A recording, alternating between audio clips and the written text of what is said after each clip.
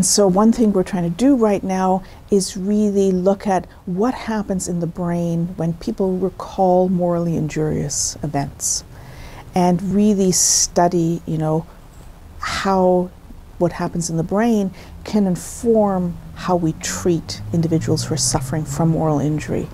Moral injury has been a real topic of interest among our healthcare workers. We know that individuals who suffer from moral injury, and often they also suffer from post traumatic stress disorder concurrently, really uh, have intense emotional distress.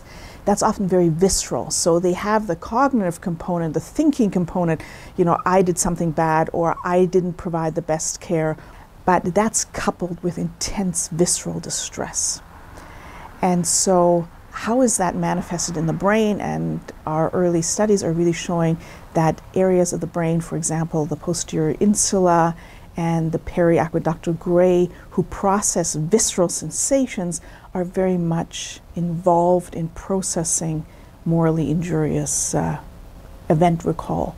And so, how can that guide us into treating these individuals who are really suffering and not just the cognitive component or the thinking component, but how can we also target that visceral distress? You know, it's eating me alive inside, or that gnawing sensation in your stomach.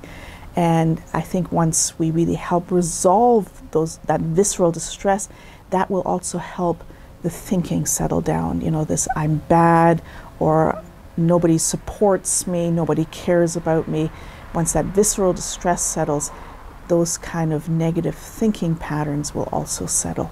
I think also then following your brain along and seeing the brain changes that occur as a result of treatment and getting better provides hope and it provides a future for coming out of this pandemic and healing from this pandemic.